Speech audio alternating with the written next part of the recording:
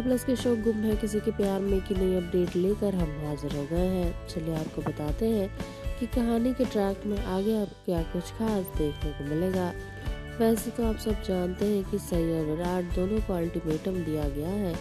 कि वो दोनों दिवाली के दिन तक एक कमरे में आ जाएँ। ऐसे में अब विराट और सई दोनों एक दूसरे से बात कर रहे हैं और दोनों एक दूसरे को ये बता रहे हैं कि दोनों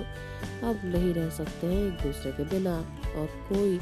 एक दूसरे को एक दूसरे से अलग नहीं होने देगा। अब ऐसे में देखना मज़ेदार होगा